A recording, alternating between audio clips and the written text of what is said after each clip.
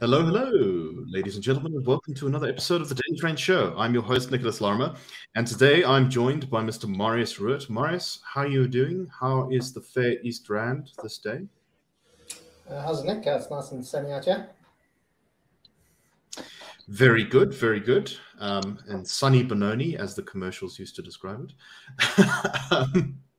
and of course, we also have Mr. Hermann Pretorius, who I believe is in his uh, fortress in, Pretoria somewhere, or his fiance's fortress, or, or something. Yeah, something along those lines. But it's it's uh, the the fortress is actually the Voortrekker Monument. Um, it's got some really impressive uh, railings that, at the press of a button, or just if you yell the name of Paul Kruger, that the, these things just activate. And what people don't know is the Voortrekker Monument is actually a Mars spaceship that you can launch alongside the formerly named John Vorster Tower, and you can just move the Afrikaner to Mars. So I had to mute uh, Hermann. I muted Hermann yeah, people don't want to hear the truth. They don't want to hear the truth, Marius. It's, what, it's, how much? How much did Bill Gates pay you, Marius? How much? it's the ultimate trick, I suppose. Um, anyway, yes. uh, Star Trek. the final frontier and all that.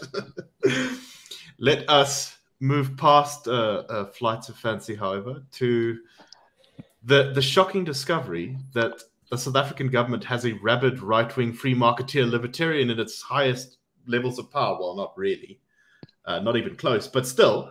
Um, South African Reserve Bank Governor Lesetja Kganyago uh, uh, said um, something that I think has been quoted by people in the free market sphere for a really long time, which is that there's no such thing as a free lunch. Uh, he was he was talking uh, recently to the media uh, during a webinar um, hosted by the CDE, which said that uh, where, where he said several things needed to be taken into consideration by politicians, namely that trade-offs were necessary to avoid a debt hangover which coming generations would pay for.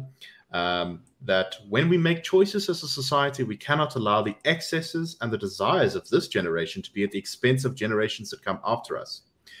So, what has been happening is the generation of today makes choices that all sound like it benefits us for now and leave the generations behind us with a massive debt burden. We call that generational inequality. Um, he said that uh, spending on consumption instead of infrastructure left nothing behind for those who inherited the debt. And then he went on to say, and so our task as tech- technocrats, as economists, is to help frame those trade offs so that the political leadership of this country can make decisions and they've got to understand that there is no free lunch. Very, uh, very good, sober um, warnings, I think, from the Reserve Bank governor there. Uh, Hermann, what do you make of it? No, I think that's exactly right. And um, sorry, I mean to say that's exactly far right because anyone uh, holding that position these days would be seen as so far to the right um, that that you know you won't be able to see your left hand. Uh, and and ironically, this is pretty close to where Trevor Manuel was um, as Minister of Finance. We we, we shouldn't forget um, that South Africa ra- ran a, a, budget surplus um, 13 years after 1994, and if you take into account what the awful position the South African fiscus was in after the 70s and the 80s when the boom of the 60s had cooled off and when the um, you know massive military and state uh, uh, militarization of the state spending of the 1980s uh, uh, uh, you know caught up with South Africa um, they were the, the fiscus was essentially uh, depleted in, in many ways when when the ANC came into government. And Trevor Manuel then managed to change um, that into a surplus um, and and you know it, it might sound esoteric and not very important, but what what just having this idea of living within your means is so fundamentally uh, uh, uh obvious that we as individuals do it. uh, businesses do it. The, the best advice you can ever give someone is if you're in debt, get out of it as quickly as possible because debt interest is coming to eat your children.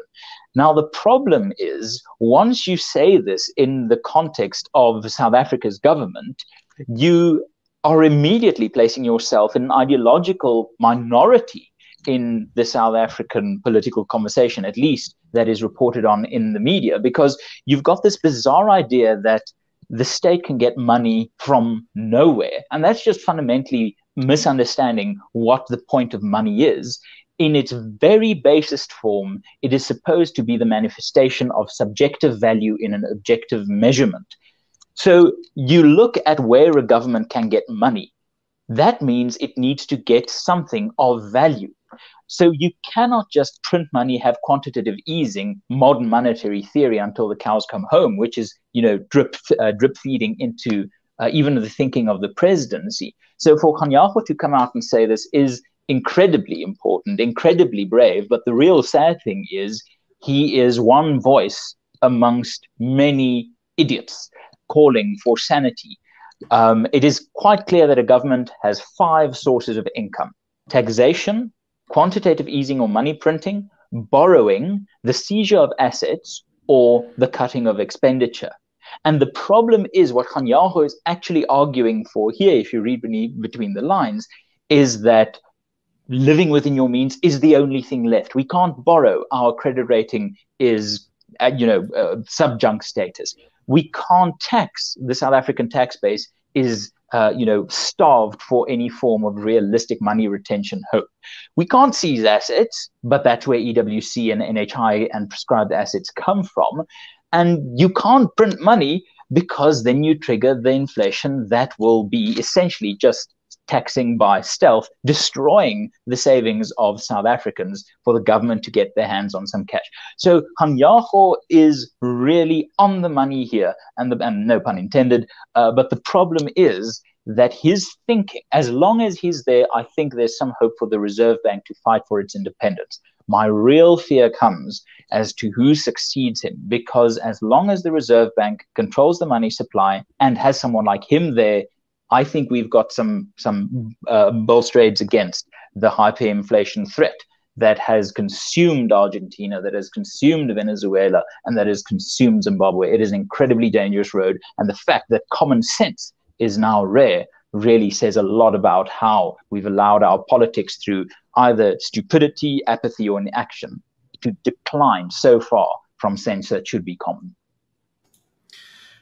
So I think the sign of an institution that's strong is when it shapes the individuals who pass through it rather than um, uh, being entirely shaped by the individuals in it. Uh, obviously, there's there's always a little bit of both, but um, I think it's worth noting that I think the the the, the uh, Reserve Bank is one of the strong institutions in South Africa that it, that is keeping the ship afloat, and you can see that by the way that people go into the Reserve Bank. I mean, uh, we had of course, Tito Mboweni, um, the man behind our, our destructive labor laws, uh, which we might get onto just now. And he goes through the Reserve Bank and he comes out with a much more sen- uh, sensible, pragmatic, and conservative approach to fiscal policy.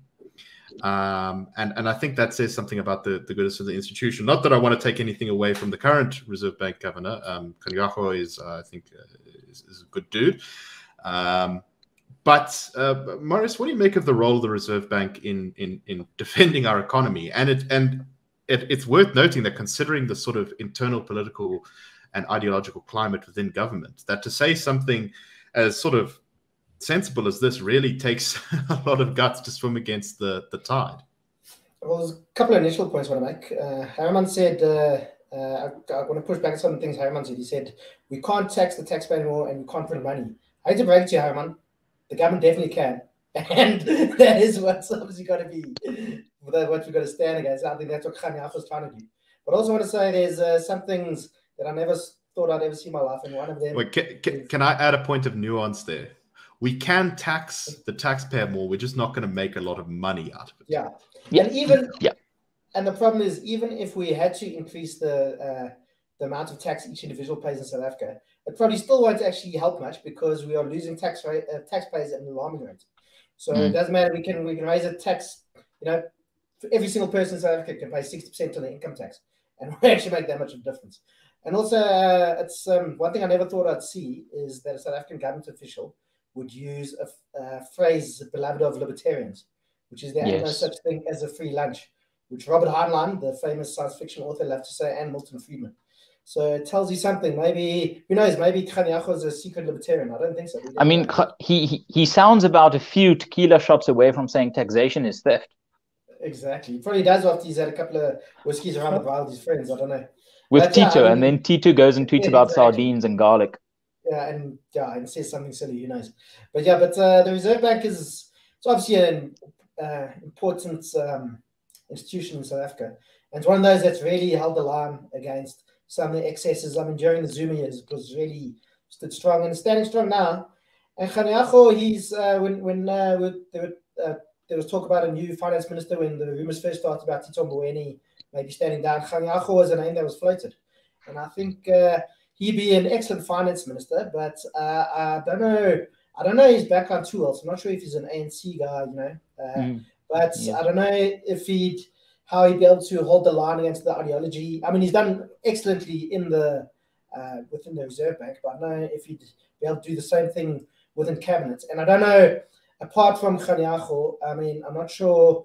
Godongwana said some kind of positive things, but I know apart from that, if there's anybody who's in the cabinet or up in the ANC who's actually worried about fiscal spending and who doesn't think that we can just go right. kind of just start printing money and start taxing people.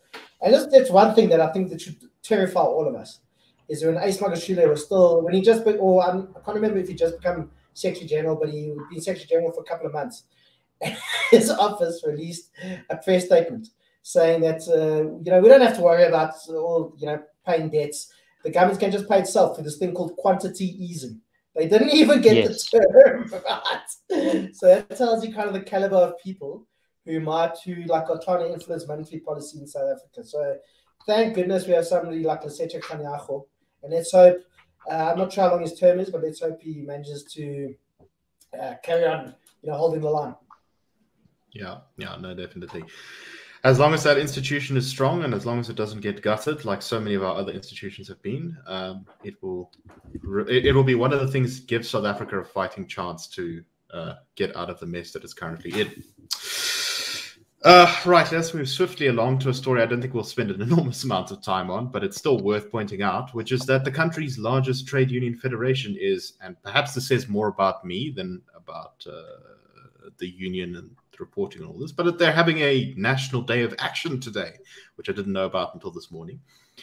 Um, and they have asked their uh, 1.8 member, uh, 1.8 million members to stay home from work um, or join them for one of their marches. Uh, I think there's two, one in uh, Cape Town and one in Johannesburg. And uh, these protests are against corruption, retrenchments, and the country's high unemployment rate. Um, right. COSATU is striking against unemployment. Um, Marius, do you want to maybe take this one? What, what can you say? You just kind of roll your eyes and laugh, maybe. I'm not sure. Yeah, it's. I mean, it's it's mind-boggling. You know, the country's the economy is already on its knees, and you know, let's let's uh, kill some more productivity by getting uh, a whole bunch of people to not come uh, come to work and so on. And we already see uh, NUMSA has uh, embarked on a strike, and I've seen some footage of uh, you know some violence uh, down in Durban. They broke down the um, gate of a company. There are rumors of uh, strikers in Boksburg shooting at police. So you know it's strike season kind of again in South Africa, but uh, yeah, it's yeah, but uh, it's also COSATU. It's it's actually mind-boggling. They, they I think they they're also like a lot of people in South Africa who kind of uh, sort of can can see the issues with race-based policy, and it's almost on the tip of their tongue, and they can almost say this is what's wrong. I think COSATU is often also there. They they can they they know actually what the problems are, but they just can't bring themselves to say, well, actually these are the issues. You know, there's too much state involvement. Obviously, not the you know, I'm sure a lot of people in COSATU are ideologues, but I think just sometimes they they're almost at the point of saying, yes, okay, this is the problems with these are the problems with South Africa. And one of them is, you know, we, we can't get you, you can't just say at the drop of a hat two million people need to go on strike. That's not exactly going to be good for the economy. Um, I just want to say a quick shout out to Gabriel, one of our usual contributors, is watching us on Facebook.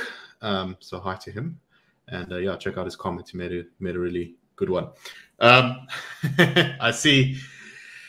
One someone in the comments is saying that Hermann is itching to get into this topic. Uh, so Hermann, let rip.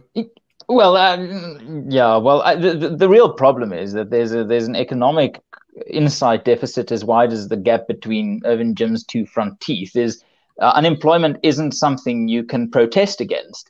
Uh, un- uh, a job is created when the right circumstances are there for a job. When you've got a discernible need that can be identified, can be solved, can be you know uh, uh, uh satisfied, um, and when there is sufficient capital for the person interested in that need being met um, to compensate the person meeting that need uh, with with with a fair wage. I mean, or with a, with a fair exchange money. That's that's where a job comes from.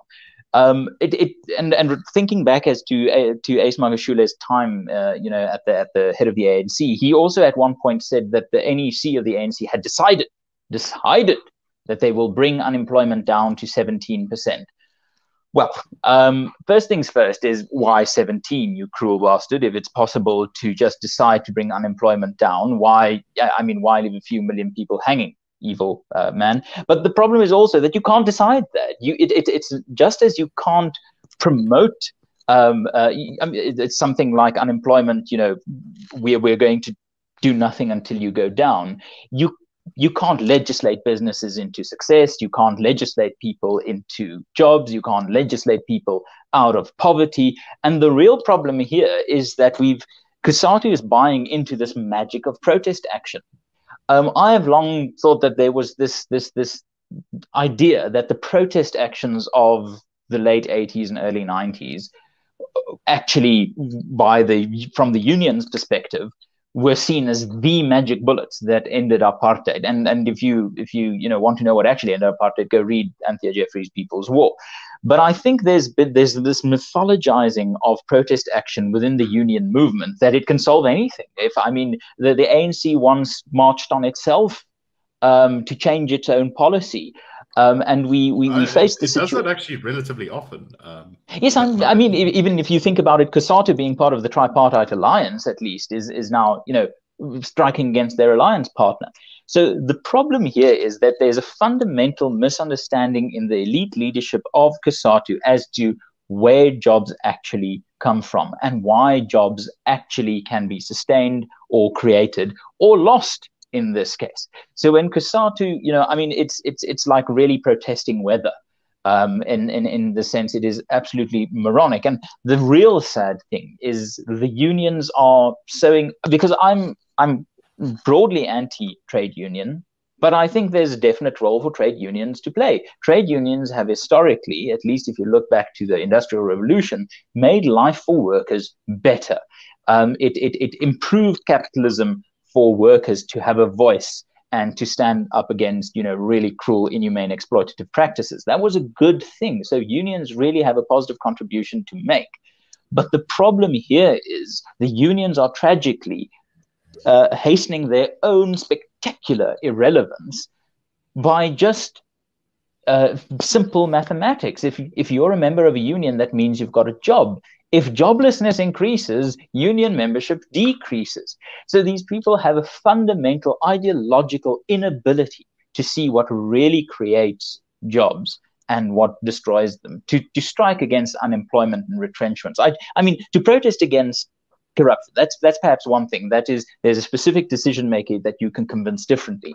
But to strike against unemployment and retrenchment what, and in so doing, putting further strain on the productive sectors of our economy, still brave enough to, uh, you know, have the guts to employ people and try to keep their doors open and not just, you know, give up and go overseas. I, I mean, really, it's it's it's it's as comprehensible as an Irvin Jim tweet. I think I'm like still... a... sorry. Sorry, you were like a Beyblade there. We just let you rip and you spun all out all over the place. Thank you. Thank you. Um, I think the uh, points as uh, with um, unions, what Hermann uh, was saying, Harriman, um, unions obviously, I think they can often be a force for good, but in South Africa, I think there's such adversar- adversarial relationship between uh, business and unions on the one side. It's, it's not a you know symbiotic relationship. It's a very adversarial one, and I think that's why we have this kind of thing. You know, no, I'm sure no business wants to. They don't enjoy firing people.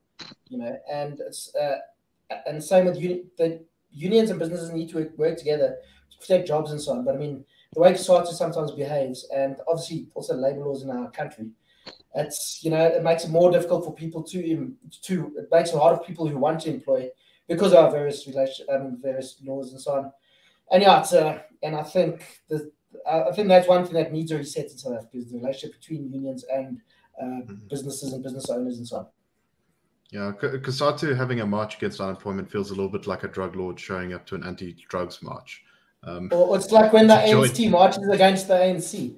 When the, know, ANC Gauteng marches against National ANC to the Tuli House because of lack of service delivery or something, or whatever the case it, it, kind of kind of reminds me of that meme of the two Spider-Men pointing at each other. Exactly. Yeah. yeah.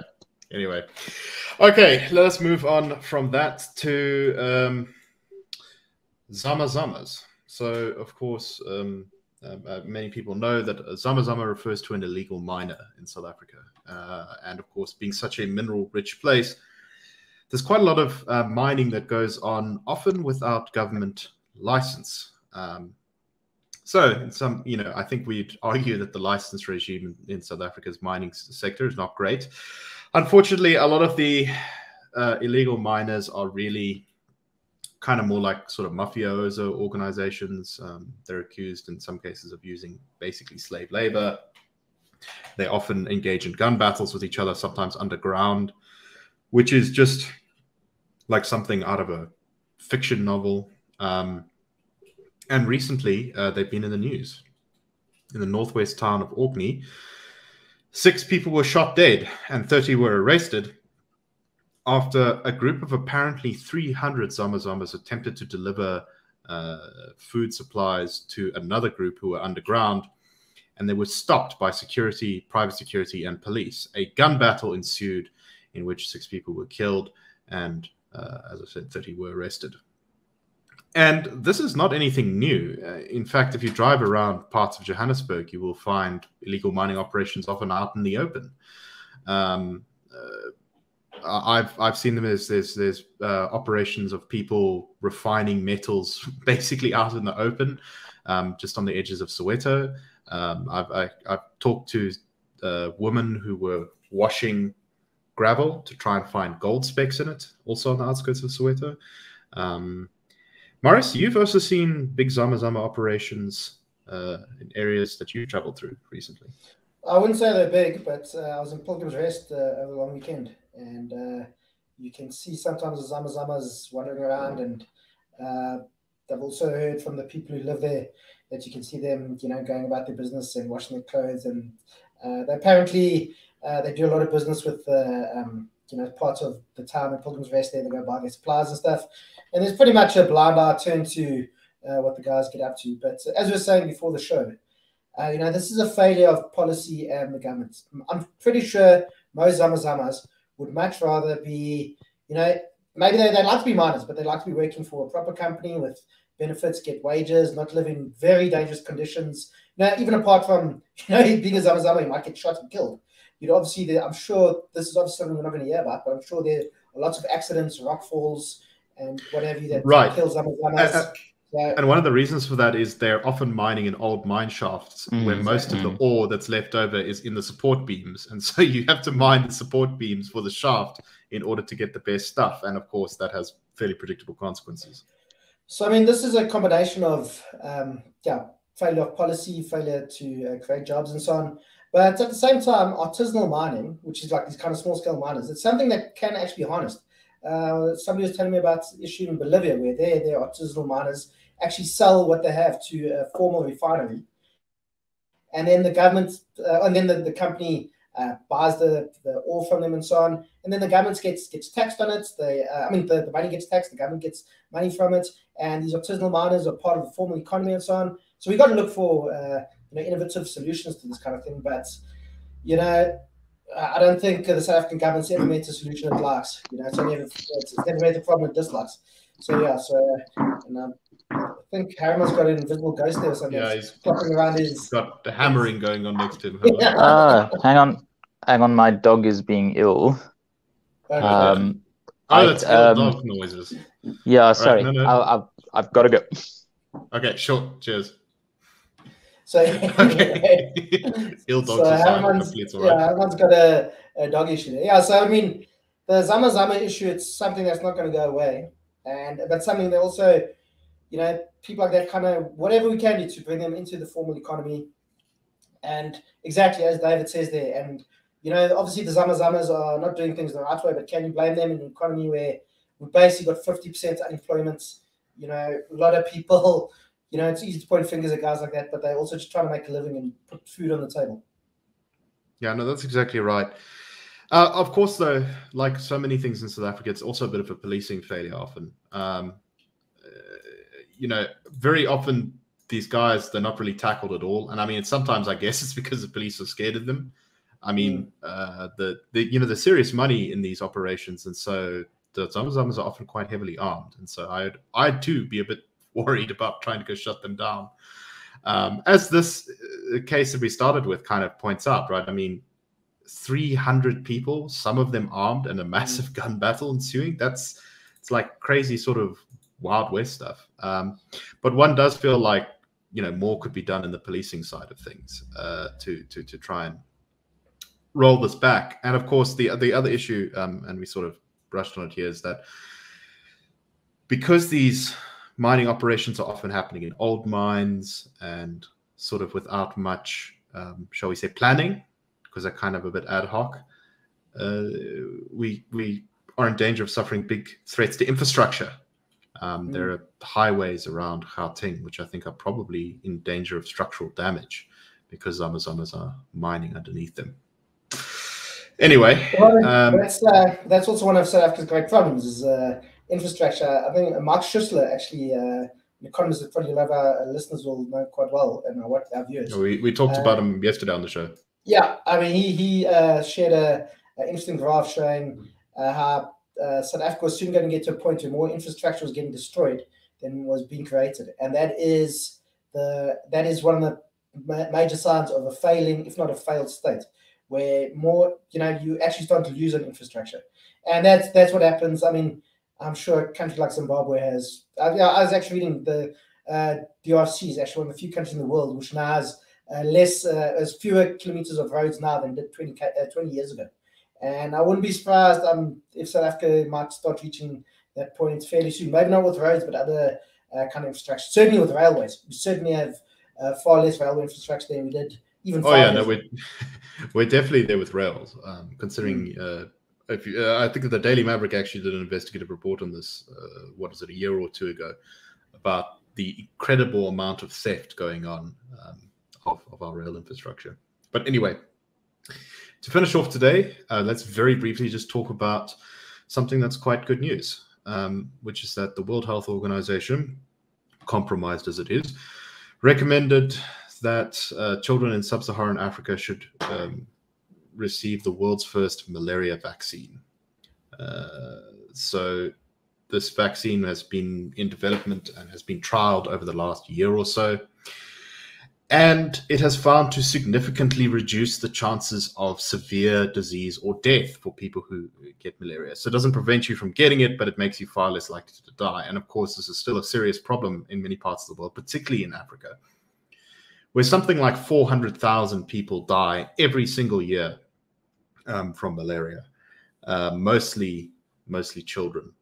And uh, malaria is is still quite a killer, especially if it's not very well treated, as it isn't in a lot of these uh, very poor places, places like the Congo or Uganda, um, where it can kill something like 30% of the people who are infected with it. So it's pretty hectic stuff. Uh, what do you make of this? Yeah, well, um, this it's a nice piece of good news, and I think it'll. Uh, um, yeah, when, whenever we come to a point where we uh, doing well, where we're actually beating a disease, uh, it's something to celebrate. And I think uh, humanity has probably needed some good news in the last uh, last year or two. He's not looking that great. If we look at the bigger picture, we probably can see World War Three in uh, the South China Sea in the next uh, five years or so. So yeah, but this is obviously good news, and yeah, this is uh, this is also good for developments. You know, it's you can look at any kind of indicator. Fewer kids get sick, they have better. Um, you know, if they don't suffer from endemic diseases as much, they have better outcomes with education. They uh, you know, uh, better. Um, uh, they're not well. they're not malnourished and so on. So there's obviously something to celebrate, and it's great that the WHO's actually doing something that we can maybe be proud of. So we're going to see. Yeah. Well, although at the end of the day, it's going to be up to the people on the ground to kind of hand out these things and and fund them and all that. But uh, yeah, that's that's I guess the next phase of the problem. Anyway, um, that's all the time we have for today. Uh, and uh, I'd uh, hope that you enjoyed the show. Um, I hope that Hermann's dog is all right. And we will see you next week for another episode of the Daily Friend Show. Have a most wonderful one, everyone. Cheers.